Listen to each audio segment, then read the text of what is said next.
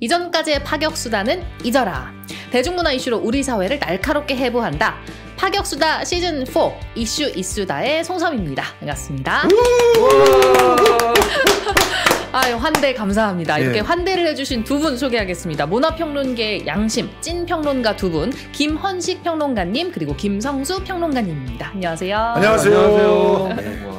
날씨가 더워진 것 같아요. 복장이 아. 반팔을 입고 나오셨어요. 패셔니스타는 계절을 앞서간다고 합니다. 그렇죠. 아, 역시. 다음 주엔 다 같이 반팔을 입고 만날 수 있을 것 알겠습니다. 같습니다. 아, 저희가 이렇게 오늘 기분 좋게 시작을 했지만 예. 사실 다룰 내용은 조금 화가 나는 내용들이 있어요. 아, 부쩍 터지죠? 아, 자, 이번 이야기의 제목은요. 유퀴즈의 배신, 권력의 협박인가, 자발적 상납인가? 입니다. 제목에서 또 김성수 TV의 분노가 확 느껴지거든요. 아 뜨거. 아우, 이거는 근데 김성수 TV뿐만이 아니라 많은 분들이 분노하셨을 것 같은데요. 예. 경산군이 TVN의 인기 퀴즈 예능 프로그램이죠. 유퀴즈 온 더 블록에 출연한다고 얘기가 나오면서 출연 이미 했다고 얘기가 나왔어요. 다 찍었대요. 네, 난리가 났습니다. 김원식 평론가님 먼저 어떤 일인지 얘기 좀 해주세요. 뭐 어떤 일인지가 아니고 핵심은 뭐 간단합니다. 왜냐하면 어, 유키즈에 왜 이 사람이 나오지? 라는 반응이 정말 네. 분노로 게시판에 그 정말 도배하듯이 나올 수밖에 없는 당연한 현상인가라는 생각이 들어 처음에는 음. 이제 5번 줄 알았어요. 네. 왜냐면 그럴 리가 없다. 유퀴즈에 왜 이 사람이 나오나 이거는 말도 안 된다라고 했는데 어 그게 정말이다 보니까 발표된 분- 날 이미 녹화를 했대. 예, 그러니까 음. 분노가 참나. 치밀어 오르더라고요. 근데 그 분노가 특정 몇 사람이 아니고요. 전 국민이 다 그렇지. 분노한 사안이었어요. 예. 그럼요. 기사 뜨자마자 댓글이며 뭐며 다들 난리가 났고요. 예. 왜 선의의 프로그램을 지들 마음대로 이용하냐. 네. 사실 유퀴즈는 설명을 드리면은 네. 이게 원래는 처음에 시작할 때는 야외 어, 탐방 그런 형식을 가지고 어, 있었어요. 맞아요. 서민의 공간, 뭐 시민의 공간, 국민의 공간으로 가서 심지어는 길거리에서 가만히 뭐 예를 들면 강남 대로변에 있다가 맞아요. 일종의 뻗치기를 하고 있다가 저분하고 같이 대화를 해보면서 음. 여러 가지 진솔한 이야기들을 그 출근 현장에서도 이렇게 캐치를 맞아. 했었고 깜짝 인터뷰. 네. 뭐 일하는 공간에 가서도 했고 그러면서 그 중간 중간에 키드 주, 키- 퀴즈도 주면서 음. 약간 또 돈도 드리고 음. 그래서 굉장히 서민 지향적이고 국민 지향적인 프로그램이었죠. 근데 물론 코로나 19가 터지면서 국민들하고 이렇게 같이 할 수 없으니까 약간 스튜디오 형식으로 바뀐 건 이해를 해. 음. 뭐 물론 그 중간에 연예인들이 좀 나오기도 했어요. 예. 근데 이번에는 왜 이 사람이 나오지? 음. 이거는 그래서 국민의 배신이다. 라고 이제 할 수밖에 없었던 그렇죠. 거죠. 이거 숫자로 좀 정리해 줄 필요가 있어요. 국민의 분노를 14일 그 어제 우- 우리가 지금 그 찍고 있는 상황에서 어제예요. 네. 어제 오후 3시까지 3,160개의 게시글이 경상군 출연 관련해 가지고 올라왔어요. 전체 게시글이 13,450개니까 전체 게시글의 23.3%가 하루 만에 작성이 됐고 유퀴즈가 2018년부터 시작한 예, 거잖아요. 맞습니다. 근데 그 23.3%가 한 이슈에 또 해당되는 시청자 반응이니까 음. 그야말로 폭발했다고 보는 게 맞겠고 거의 다 반대. 그리고 도대체 이해할 수가 없다서부터 시작해서 제작진을 질타하고 그다음에 경상군을 질타하고 네. 이런 걸로 채워졌어요.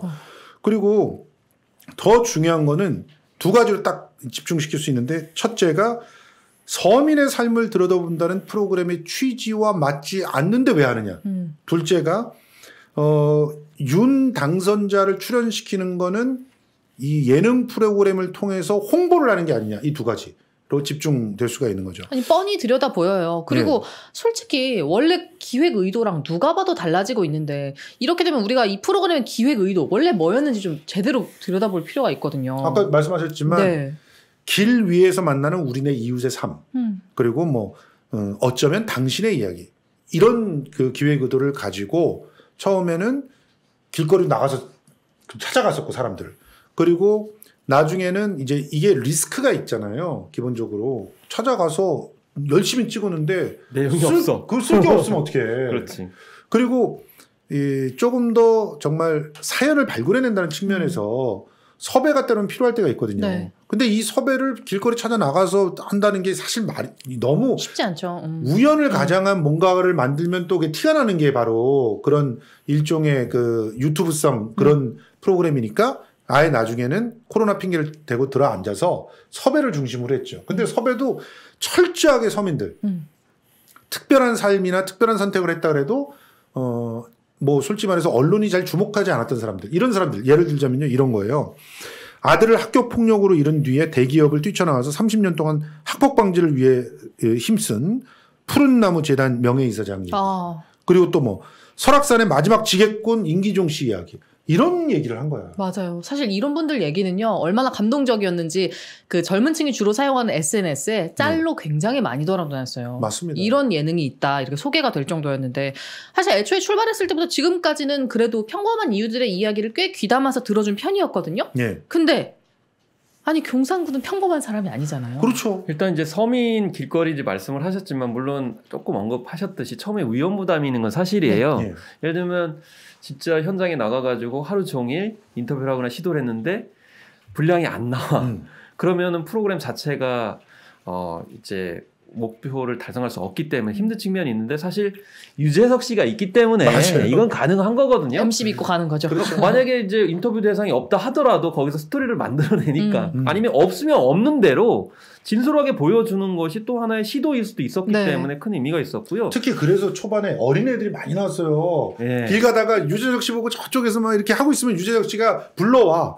그래서 뭔가를 놀아. 음. 놀면서 거기서 또 감동적인 얘기가 맞아요. 나와. 그렇죠. 이런 게 참 재밌었어요. 그러니까 인위적으로 뭐 어떤 될 만한 그림을 먼저 구성하는 게 아니고 현장에서 그것을 구성하는 게 사실 저는 유튜브 콘텐츠 내지는 SNS 콘텐츠라고 볼 수가 있는 음. 거거든요. 예. 물론 이제 그런 걸 할 수 있는 이제 역량 있는 사람이 있어야 되는 거고 그런데 그 역량을 왜 발휘하지 못하는 엉뚱한 쪽으로 이제 가기 시작을 했는데 음. 또두 번째는 뭐냐면은 이 잘 알려지지 않는 인물에다가 그 사람의 삶의 스토리를 전혀 생각하지 못했을 때 오는 반응 음. 이것 때문에 사실 감동이 있는 건데 그렇죠. 그렇지만 윤석열 씨는 도대체 너무나 많이 알려졌고 근데 그 많이 알려진 것도 대부분 부정적인 내용들이 굉장히 많은데 네. 굳이 거기에 무슨 감동이 있어?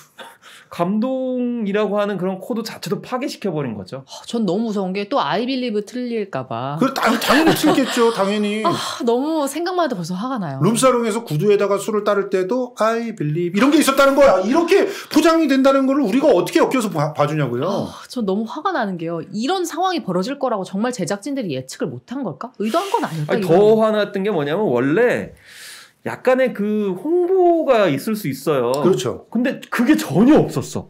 음. 바로 촬영하고 그날 기사가 빡 나왔기 때문에 숨기듯이 꼭 음. 뭔가 스스로도 이거는 뭔가 욕먹을 숨겨야 걸 안. 거지. 응. 욕 먹을 거니까. 응. 그럴 수밖에 없는 그 불가항력적인 어떤 상황이 있던 걸까? 아 그러니까 솔직히 홍보라고 하는 게 전혀 없을 수는 없어요. 그거를 시청자들이 모르는 게 아니거든요. 그래도 예를 들어서 어떤 가수가 새로운 음원을 내려고 유퀴즈에 출연했다. 그렇게 되면 일단은 일단은 뭐 유퀴즈 release를 하죠. release 할 때 유퀴 유퀴즈에서 그 저 유튜브나 이런 데 나올 때 그 밑에 댓글이 악성 댓글이 달려요. 음. 이 지금 뭐 왜 이 좋은 프로그램 해 가지고 네. 홍보로 쓰느냐.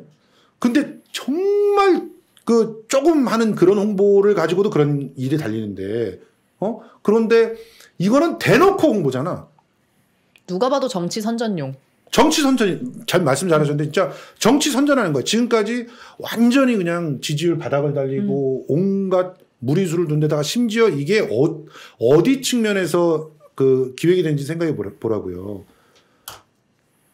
한동훈이를 법무부 장관 만드는 그 상황 속에서 나온 거야, 네. 이게.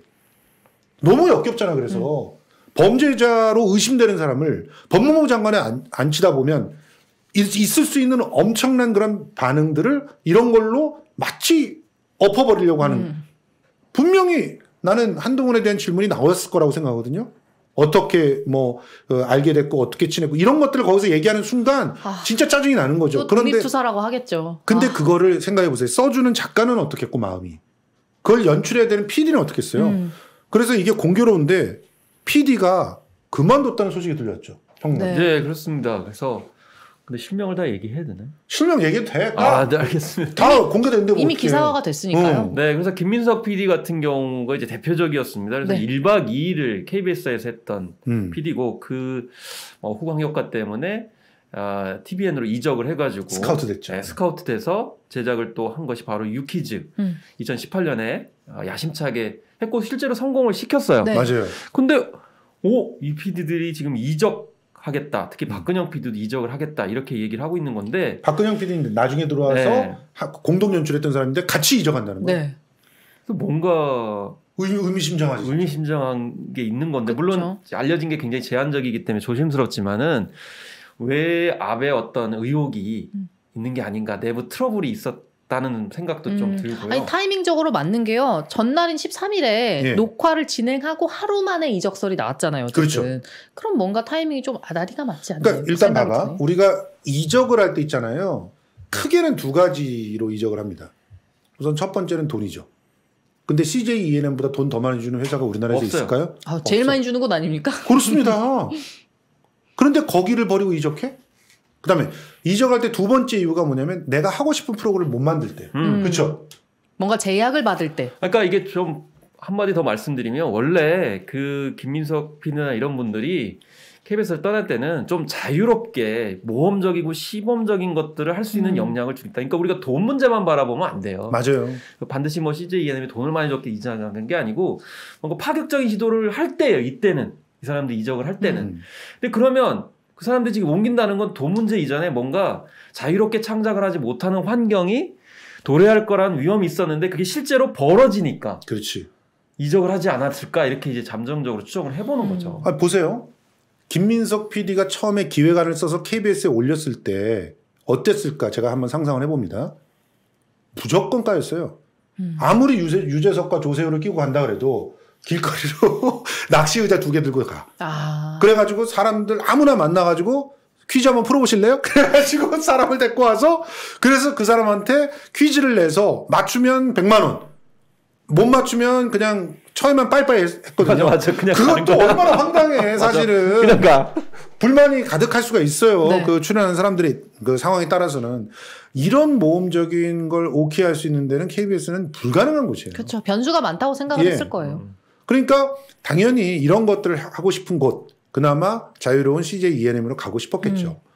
그러니까 돈을 많이 줬다, 얼마 받고 이적했다, 이거는 부차적인 거고, 어떻게 보면은 그런 프로그램으로 어, TVN의 어떤 DNA를 만들었다. 이렇게 말해도 과언이 아니거든요. 네. 실제로 TVN에서 가장 사랑받는 대표 예능이 유키존노 블록입니다. 음. 시청률 최고가 한 7%밖에 안 돼요. 그런데도 왜 이 프로그램이 TVN의 그 DNA냐? 그 자유로움. 음. 그리고 그 도전. 그리고 지금까지 지키고 있는 것 중에 하나가 어떤 거냐면 철저하게 그 어떻게 보면 시청자 중심의 그 섭외를 하는 거예요. 시청자들이 봐서 감동하고 그 공감이 있을 법한 그런 시- 출연자가 아니면은 그럼 뭐 들어올 수가 없는 거예요. 그렇죠. 내 삶과의 괴리감이 없는 분들이 대체로 나왔어요. 예, 처음에 BTS가 유키즈 출연한다 그래도 아미들은 되게 좋아했지만 음. 반대하는 사람도 있었어요. 너무 이제 요, 너무 유명하니까. 나온다. 근데 상대적으로 저기 어디에요? 아니 갑자기 또 이렇게 그 팀 이름이 갑자기 생각이 안 나. 뭐. 롤린.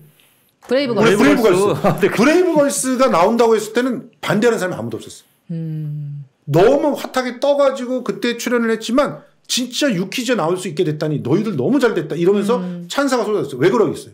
공감. 맞아요.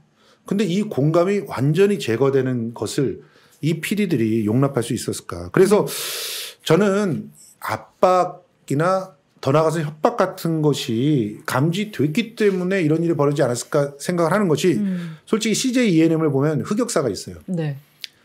대기업이지 않습니까? 그리고 어, 부회장이 직접 이 회사를 관장해요. 그룹 부회장이. 그러면은 뭐 이 회사를 솔직히 웬만한 권력들은 터치 못합니다.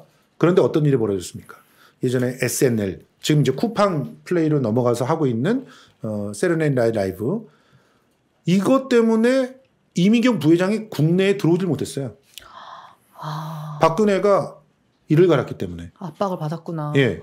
우리 다들 알지만 여의도 텔레토비라고 하는 그 코너를 하면서 거기서 아, 너무 재밌었던. 그 뽀가 박근혜를 상징한다라고 하는 얘기가 돌면서 난리가 나가지고 그래서 결국 그 프로그램은 사라지고 이미경 부회장은 해외를 떠돌고 블랙리스트에 올라가고 음. CJ E&M이 제작하는 영화들이 심지어 막 기금 펀드에서 정부 펀드에서 나- 날아가고 이런 일들을 이제는요 어떤 사람이 들어와서 이런 일을 할 수 있냐 검찰 권력을 갖고 있는 사람이 하는 거예요.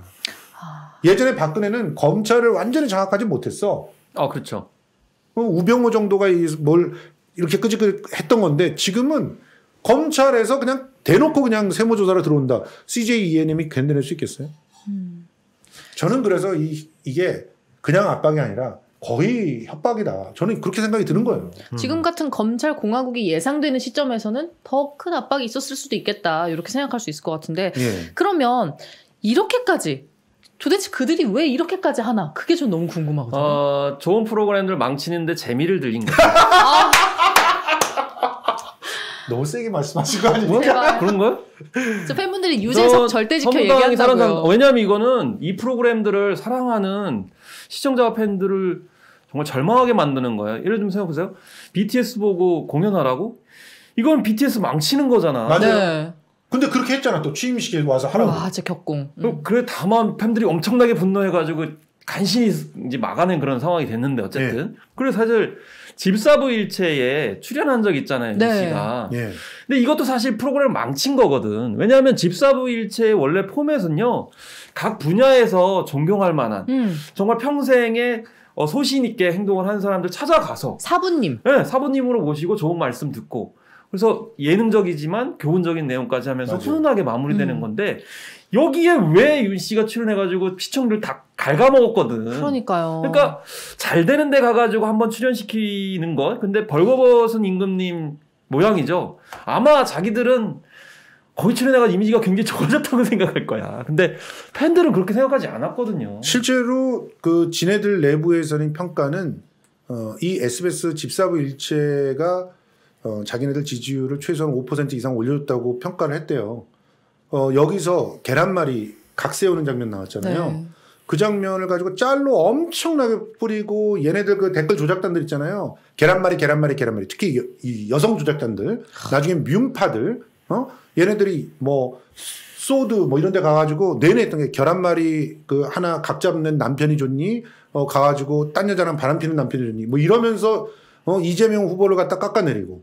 어? 게다가 그 그때 당시에 보세요.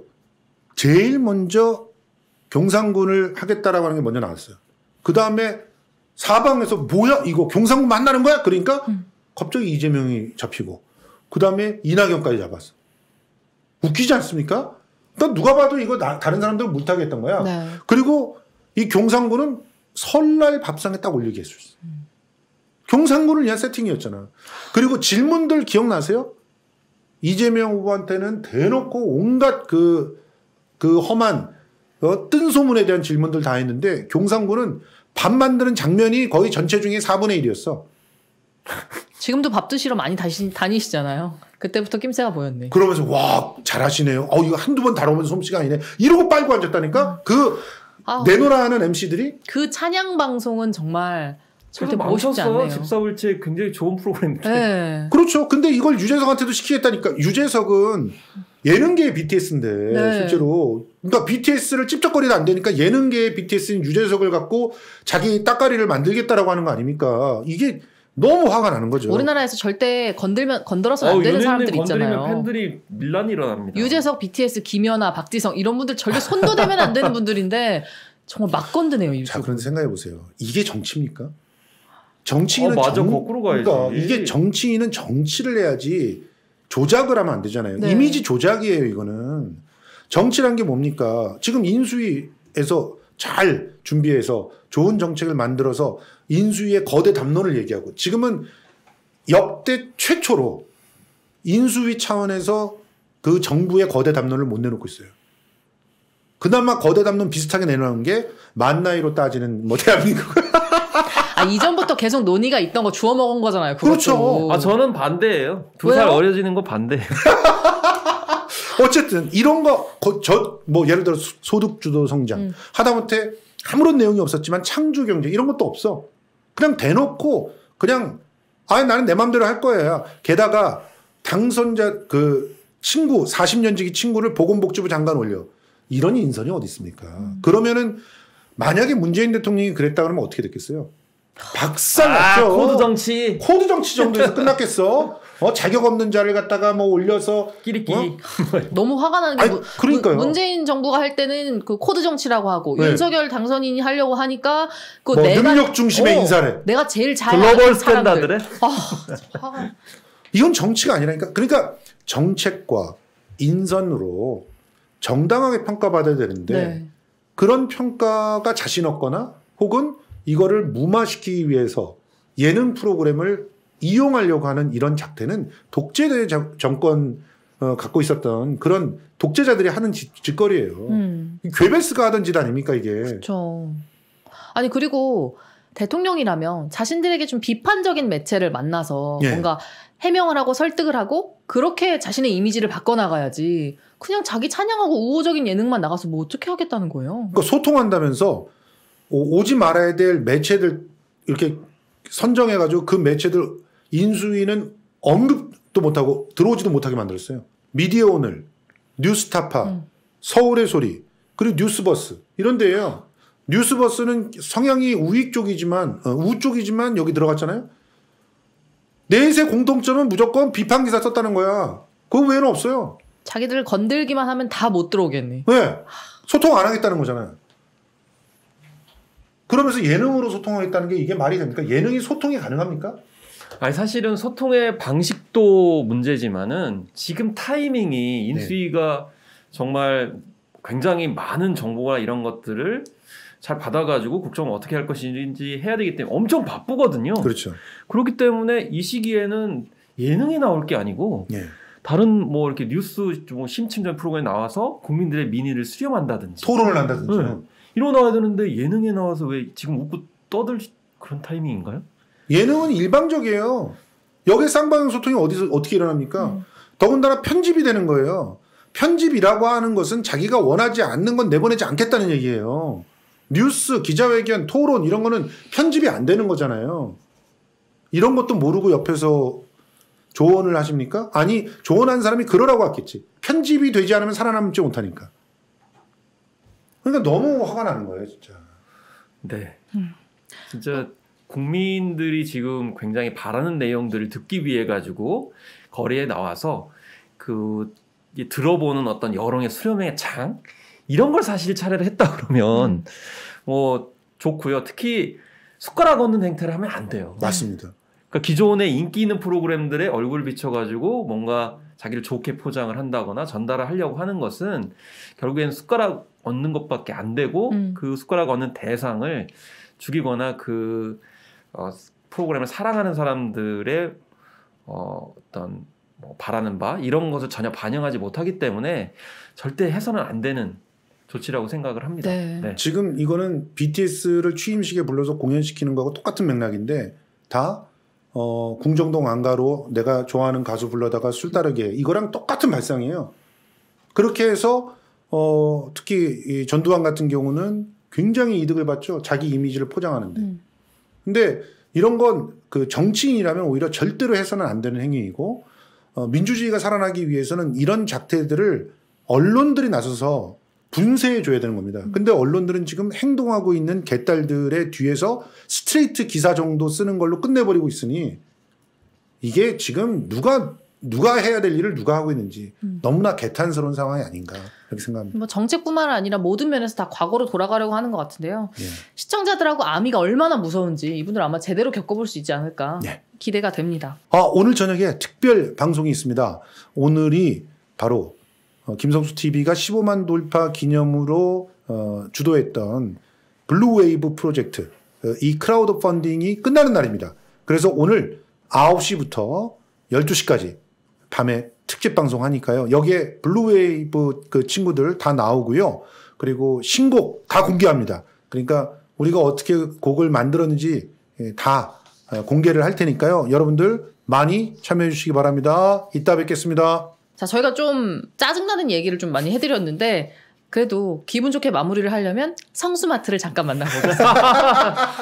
네, 정치 시사 문화 평론 채널 김성수 TV 성수대로에 이제부터 성수마트가 함께합니다. 성수마트는요 성수대로를 사랑해주시는 여러분들과 상생하기 위해서 만든 온라인 쇼핑몰입니다. 성수마트에서 쇼핑하시면 그 판매 수익금은 김성수 TV 성수대로 운영비로 돌아옵니다. 제품도 굉장히 다양한데요. 이 성수마트에 오셔서 신선한 제철 식품부터 간편식, 건강식품, 생활용품 또 필수 가전까지 천여 개의 상품 둘러보시고 구매하시기 바랍니다. 빵준서 제품 유명하잖아요. 이제 빵준서 제품도 성수마트에서 구매하실 수 있습니다. 이제 저희가 광고하는 특정 제품이 아니더라도 여러분들의 자발적인 쇼핑이 후원이 되는 곳 바로 성수마트입니다. ss마트.co.kr 회원 가입하시고요. 구매하시면 무조건 무료 배송입니다. 천 원짜리 하나를 사셔도 무료 배송입니다. 주소창에 ssmart.co.kr 바로 가기 링크는 채팅창과 자세히 보기에도 있습니다.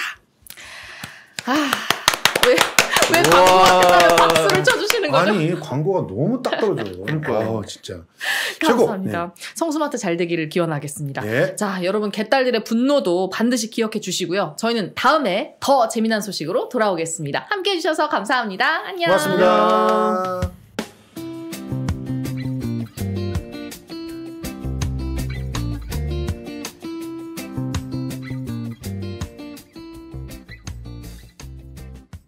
방송 어떠셨나요? 방송에 대한 의견과 댓글들 많이 많이 남겨주시고요.